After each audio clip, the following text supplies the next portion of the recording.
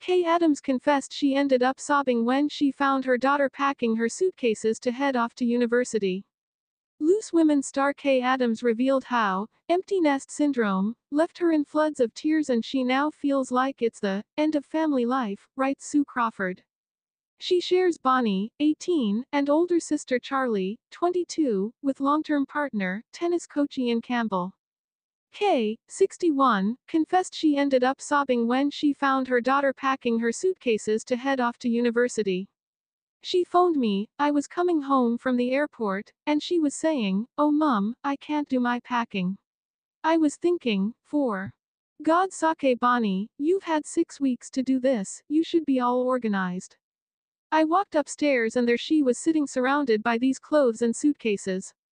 I looked at her, she looked at me, and we both burst out crying.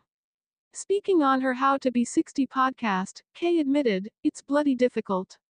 The worst thing is, she's having a really good time. She couldn't speak to me the other day because she'd been doing karaoke.